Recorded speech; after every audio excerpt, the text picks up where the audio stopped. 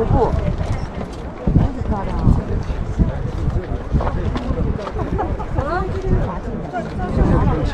对对，哎，小心哦，对，往前走，还有更多风景在前面。大家好，欢迎收看我们新一期的黄石国家公园专题片。这一集呢，我们来跟大家介绍黄石最有名的拍照点——艺术家点。啊，这个景点呢是黄石最受欢迎的景点，Artist Point。从这个地方呢，我们可以看到这个黄石河峡谷，以及呢下瀑布，远方的下瀑布，非常非常的漂亮。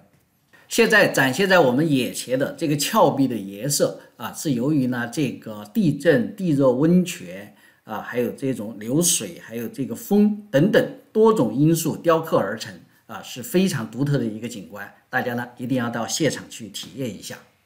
大家一提到这个黄石国家公园呢，可能首先会想到它的喷泉，呃，这个牦牛等等哈。其实呢，黄石的瀑布也非常有名，它的上瀑布和下瀑布，但是下瀑布比上瀑布要壮观。现在呢，我们就先来看一下上瀑布。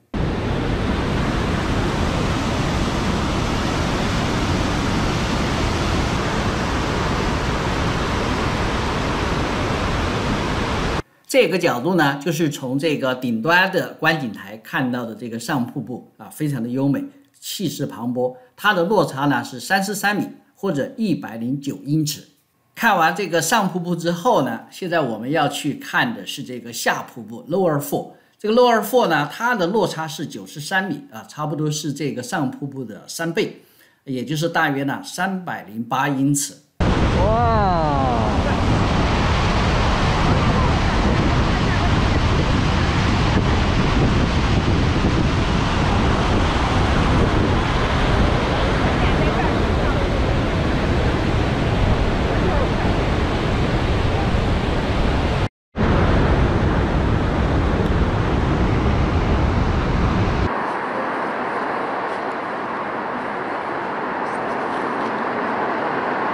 我们刚才呢，啊，就是走到了这个下瀑布的顶端啊。从这个艺术家点的时候呢，我们远远的看过去啊，就看到了这个下瀑布。